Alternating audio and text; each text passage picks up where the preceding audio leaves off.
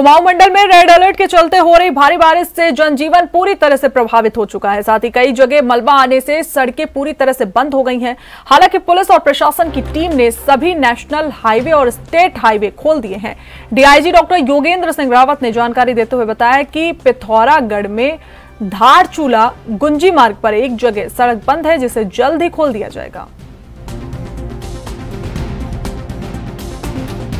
निश्चित रूप से जो बारिश हुई है, उससे जो सामान्य जीवन है, वो प्रभावित हुआ है। कुछ जगहों पे सड़कें बंद हुई थी, जो कि लगातार खुलवाई भी जा रही हैं। इस समय की अगर मैं स्थिति का आपको बताऊँ तो नेशनल हाईवे हमारे सारे खुले हुए हैं और स्टेट हाईवे भी खुले हुए हैं सारे।